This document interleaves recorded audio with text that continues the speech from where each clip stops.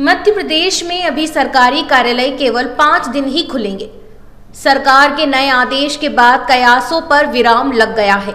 इससे पहले सरकार के आदेश में केवल 31 अक्टूबर तक ही सरकारी कर्मचारियों को हफ़्ते में पाँच दिन काम करने के निर्देश दिए गए थे।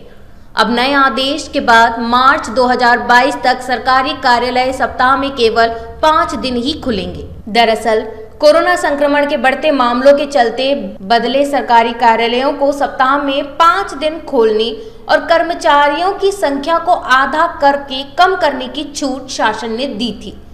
वर्तमान में प्रदेश में कोविड वैक्सीनेशन के चलते ज़्यादातर आबादी को वैक्सीन लग चुकी है। वहीं तीसरी लहर को लेकर जो आशंका जताई जा रही थी, उसकी भी टीकाकरण के बाद संभावना कम दिखाई दे रही है।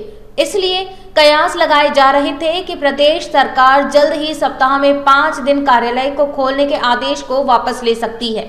शुक्रवार को जारी हुए सरकार के आदेश के मुताबिक पूर्व में 22 जुलाई 2021 को राज्य शासन द्वारा कोविड 19 महामारी की रोकथाम एवं बचाव के संबंध में संपूर्ण प्रदेश के शासकीय कार्यालयों के कार्य दिवस सप्ताह में पाँच दिवस यानी सोमवार से शुक्रवार निर्धारित किया गया था।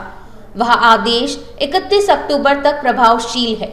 अब राज्य शासन द्वारा अब यह निर्णय लिया गया है कि उसी आदेश को 31 मार्च 2022 तक बढ़ा दिया जाए। अतः अब सप्ताह में पाँच दिन काम करने का आदेश मार्च 2022 तक प्रभावशील रहेगा।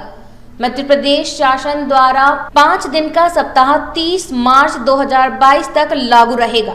इसकी सराहना करते हुए कर्मचारी नेता उमाशंकर तिवारी ने मुख्यमंत्री से मांग की है कि पाँच दिन का सप्ताह लागू रखा जाए। ऐसा होने से पर्यावरण की रक्षा सड़कों पर यातायात कम होगा। कार्य क्षमता बढ़ेगी। बिजली पानी के रूप में खर्च होने वाला करोड़ों रुपया सरकार का बचेगा। मध्य प्रदेश तृतीय वर्ग शासकीय कर्मचारी संघ प्रदेश सचिव उमाशंकर तिवारी ने कहा कि कई राज्यों में पाँच दिन का सप्ताह पहले से ही लागू है।